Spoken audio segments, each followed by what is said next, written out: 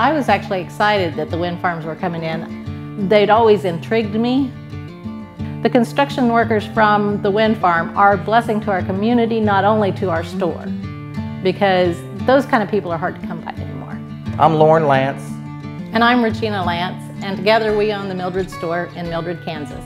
The store is essential to our community. And we are told about that quite frequently. People come in and say, we're, we're really glad you're here. The store is over 100 years old and it's only one of two structures that are from the original town of Mildred. Since the wind farm construction began, our daily totals have at least doubled. The extra income has really been a blessing. My name is Kirk Dwyer. I own and operate Chancey's Grill and Shake here in Marion, Kansas. Been here since 1992. The wind farm uh, coming into our area been unbelievable.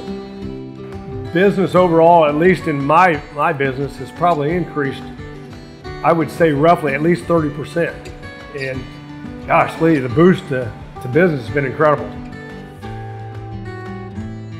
My name's Stevie Kennard. I am the lead project developer for the Prairie Queen Wind Farm.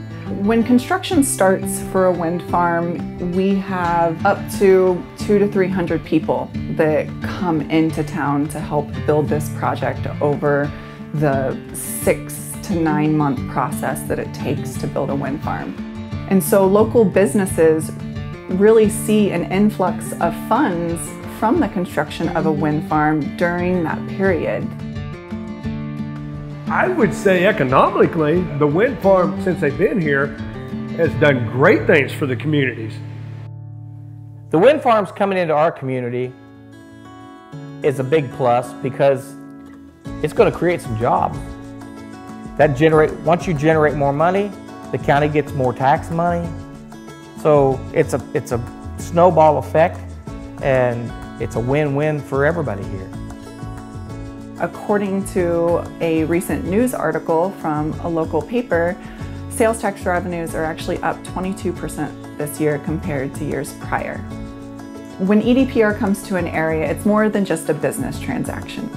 We know that we're going to be here for the foreseeable future. These turbines are going to be seen across this landscape for the next you know, 40 to 50 years. And so not only do we want to support the landowners who we're you know, leasing the property from, but we want to be able to support the community because they are a part of this project as well.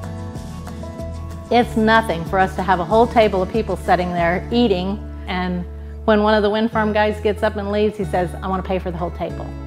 They're, they're putting money into our community. They're putting money into everything in Allen County that they touch, that they do.